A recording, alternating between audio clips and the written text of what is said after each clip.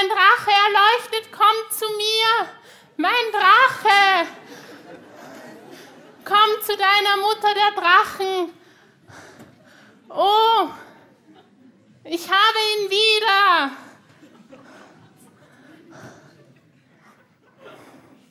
Was für ein Glück. Ich habe meinen Drachen wieder.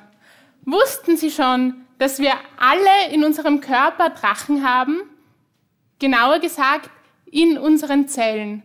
Und zwar sind sie die Energielieferanten für uns. Sie hören allerdings nicht auf einen hochvalyrischen Namen, sondern auf einen altgriechischen. Und der ist Mitochondrium. Und in diesen Drachen, die sind das natürlich nicht alleine, die die Energie machen, gibt es fleißige Bienchen. Und diese Bienchen machen eigentlich die ganze Arbeit und werden Proteine genannt. Und die sind es auch, die die Drachen so schön zum Leuchten bringen und uns mit Energie versorgen. Jetzt gibt es aber Substanzen, ähm, wie diese Haarspange hier.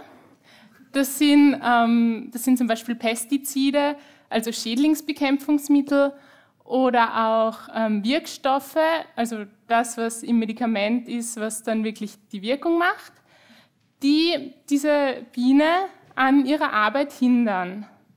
Und dann kann natürlich der Drache kein Feuer mehr spucken. Und das ist auch schlecht für unsere Zellen, weil die haben dann keine Energie mehr und die können dann auch absterben. Und wenn das mit vielen Zellen passiert, dann kann das sein, dass das auch zu Krankheiten führt, wie zum Beispiel zu Parkinson oder Alzheimer. Und wir wollen natürlich nicht, dass äh, Medikamente sowas machen, weil wir wollen gesunde Drachen haben. Und ähm, wie man das macht, damit beschäftige ich mich in meiner Forschung. Und zwar nicht im Labor und leider auch nicht auf dem Rücken eines Drachen, sondern ich mache das Ganze am Computer. Also hier sehen Sie meinen Computerbildschirm und auf diesem kann ich mir dann die Biene, also das Protein, anschauen. Das macht sehr viel Spaß, das kann man auch drehen und wenden in alle Richtungen. Und dann kann ich dem Computer sagen, ja, pass mir doch diese Substanz, die gefährlich ist, berechne mir das, wie passt die da zusammen.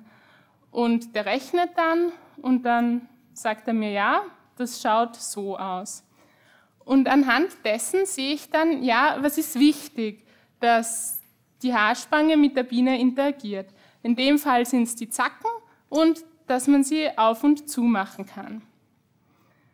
Und ähm, genau, daraus ähm, baue ich dann einen Filter. Jetzt kommen wir wieder zu den Medikamenten.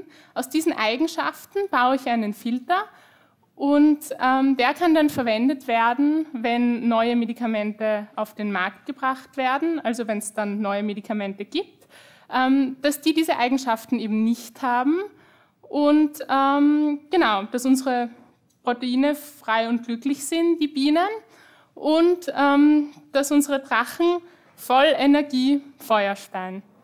Dankeschön.